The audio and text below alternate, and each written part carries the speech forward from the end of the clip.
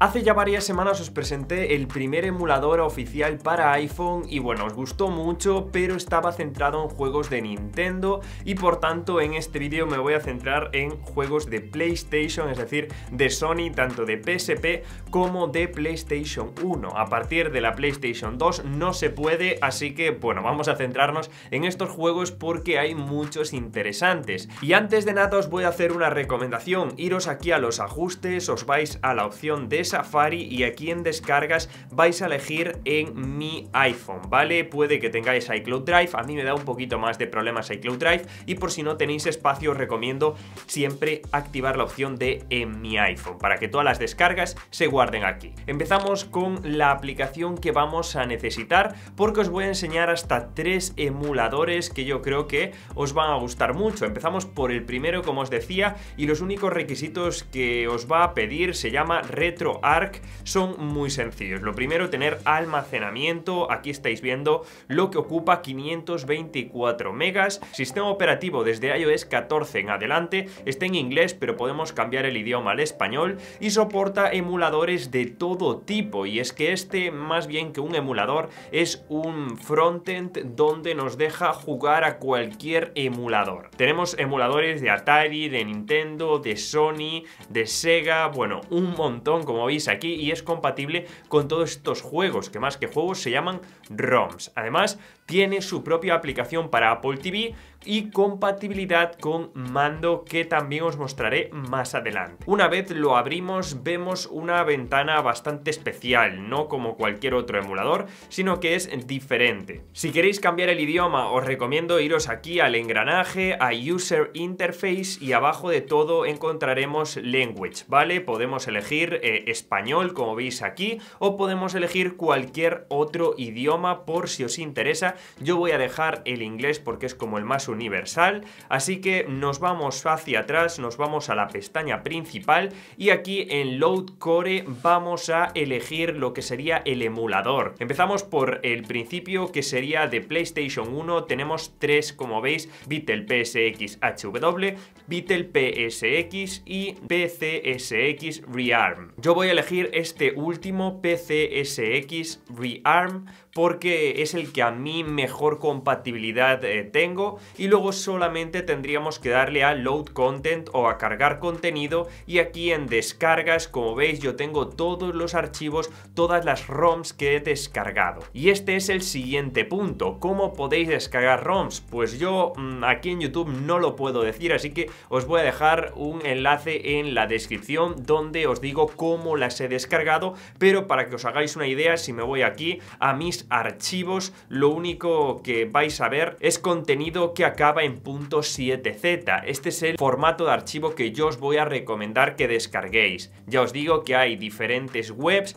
donde vais a poder descargar estas ROMs. Una vez descargamos nuestras ROMs, ya las tendremos aquí en las descargas y simplemente pulsando sobre cualquiera de ellas ya se va a cargar en la aplicación RetroArch directamente se va a ir aquí a la pestaña de descargas y aquí solamente tendremos que pulsar sobre descargas y sobre el juego de PS1 que nosotros queramos. En este caso yo voy a utilizar por ejemplo el Tekken 3, le damos a cargar archivo y aquí elegimos de nuevo el emulador que queramos utilizar. Como os decía yo, voy a utilizar el actual que está arriba de todo y se va a quedar la pantalla como congelada, no os preocupéis que está cargando el juego y tardará aproximadamente unos 10-15 segundos. No os preocupéis, no se ha congelado, no quitéis la pantalla, simplemente está cargando y esto es algo habitual. Después de unos 10 segundos, como os digo, ya va a empezar el juego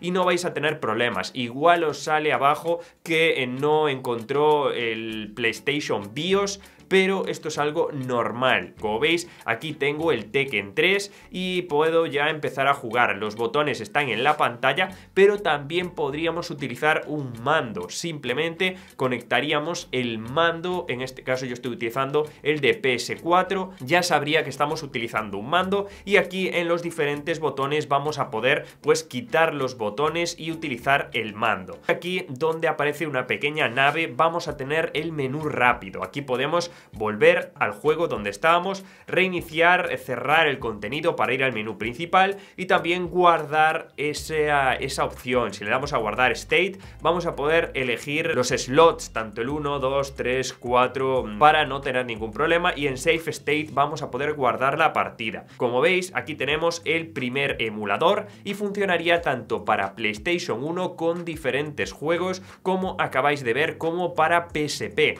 para abrir un juego en PSP sería lo mismo, le damos a cargar contenido y aquí en descargas elegimos el juego de PSP. Cuando salga elegir un emulador, vamos a elegir el emulador de PPSSPP, este que estáis viendo aquí, y ya se quedará congelado, como os digo, unos 10 segundos y ya se os abrirá el propio juego. En cuanto a las opciones, son prácticamente las mismas. Y más que la primera, si queréis jugar a juegos de PSP, os voy a recomendar esta aplicación que tiene mejor puntuación y para mí es mucho más sencilla. Se llama PPSSPP y es una aplicación que de nuevo vamos a poder simplemente descargar una ROM que os recomiendo en el formato anterior o simplemente en formato zip y darle aquí a cargar, elegimos el juego que queramos y ya podríamos empezar a jugar. ¿Qué pasa? Que hay diferentes formatos de juego y aquí empieza un poquito el lío. ¿Por qué? Porque si descargamos un juego, por ejemplo, en el formato que tengo yo de .7z,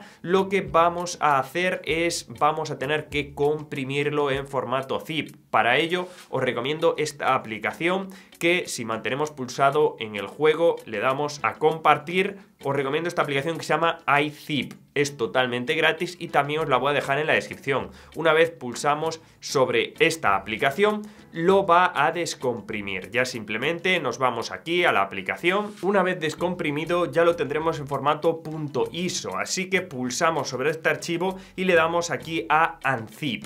Ahora ya con este archivo zip vamos a pulsar sobre él, le damos a compartir y lo vamos a llevar otra vez a la aplicación de archivos. Le dais a guardar en archivos y como veis ya nos aparece el icono de PPSSPP y ya le damos a guardar en archivos. Ahora, una vez completado, va a tardar unos segundos, nos vamos a la aplicación de PPSPP, le damos aquí a cargar y ya elegimos el archivo .iso que hemos guardado. Ya nos aparece el icono de la aplicación, pulsamos sobre uno de ellos y ya estaría. Si por ejemplo descargáis juegos de PSP o ROMs de PSP en formato .zip es muchísimo más fácil porque solamente pulsáis sobre el archivo, se descomprime y ya lo podéis abrir y cargar con la aplicación PPSPP. Y por último tendríamos la posibilidad de jugar a ROMs con esta aplicación, se llama Gamma y eh, no tiene tan buena puntuación porque a veces tiene problemas, pero ya os digo que la forma de descomprimirlo